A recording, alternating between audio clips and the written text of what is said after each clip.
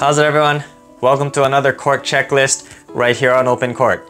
So on today's court checklist, I wanna talk about the categories or the different types of tennis rackets out on the market today, and they largely fall into three categories. So those three categories are power rackets, control rackets, and the ones that fall in between power and control called the tweener rackets. So let's start with the first category, which are power rackets, otherwise known as game improvement rackets. So what are the characteristics of these so-called game improvement rackets? Well, they're classified as power rackets because they get a lot of power due to having a large head size, usually over 100 square inches. They also have very thick beams, anywhere between 25 and up in terms of millimeters. Power rackets also have a low overall weight. However, they are weighted more towards the head. They are head heavier. And the reason for that is because if a racket is too light, it's not going to have the plow through to be able to hit the ball and win that collision with the ball. However, if the weight is more centered towards the head, you'll have that momentum that will allow the ball to be sent back with more force and you, for you to be able to hit a lot of power. Game improvement rackets are more towards the beginner side. That's why they're called game improvement. They're meant to help you guys improve your game. And as you get better, you will step up into the more advanced categories, but they're meant to get easy power for those beginners who are still learning the game of tennis. Some examples of power slash game improvement rackets are the Yonex Astrel series, the Astrel 105 and the 115, very large head. Also the Babolat Pure Drive 107 and the 110, and the Head Boom Team L. All of these rackets have very large heads, very low overall, head heavy, balanced, thick beams, uh, open string patterns. They will help you get a lot of easy power to help you guys be able to clear the net and to help improve your game and get easy power. So the second category of tennis rackets are the control rackets, also known as a player's stick. So as you guys can imagine, you have power rackets on one end of the spectrum and the control slash player sticks will be on the other end. So they will be exact opposites in terms of constructions. Power rackets have very large head sizes. Control rackets will have very small ones, usually below 98 square inches. They will also have very thin and flexible beams. A thinner beam will give you a little bit less power, so they're meant to uh, help you guys get more control, but it really puts the onus on the player to be able to generate their own power, and that's why it's meant for advanced players.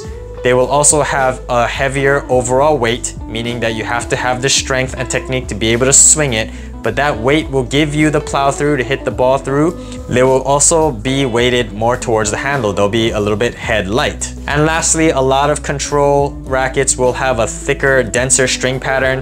Uh, 1820s are very common and a tighter string pattern will help you get a lower launch angle and keep your big swings inside the baseline. Some examples of control sticks are the Yonex VCore Pro 97D 320. Very heavy racket, very small head size, very thin beam, meant to give you guys more control, not as much easy power. Also the Babolat Pure Strike VS, as well as the Head Prestige series. All of these have a very high learning curve and are meant for advanced players.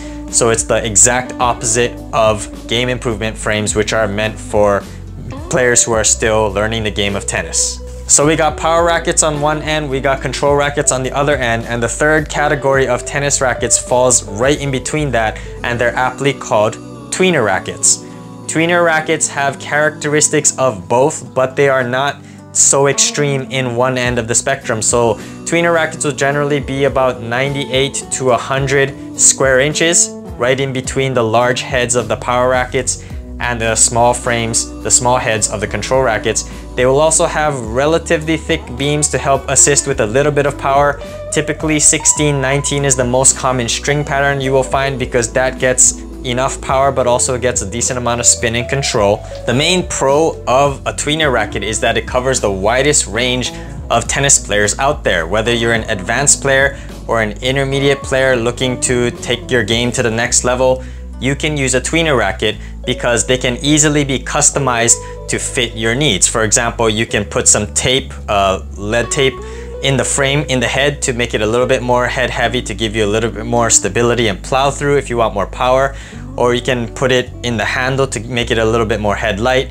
If you're looking for more control, you can string it with a thick gauge polyester at a high tension, or if you're looking for a little bit more assistance with power, you can string it at a low tension with a thinner gauge or a synthetic or multi-filament. Some examples of popular tweener frames out there are the Yonex E-Zone 98 and the V-Core 98, also the Babolat Pure Drive and Pure Aero, and the Head Speed MP or the Radical MP or basically anything that says MP will fall into that tweener frame. So to sum up, the three types of rackets are the power slash game improvement frames, the control slash player sticks, and the tweener rackets. I hope this information was helpful to you. I hope you guys will understand the differences between the different types of rackets so that when you guys are shopping for your next racket, you'll be able to make an informed purchase. I hope you enjoyed today's court checklist right here on Open Court. If you guys like this content, be sure to overhead smash that like and subscribe button, and I'll see you on an Open Court.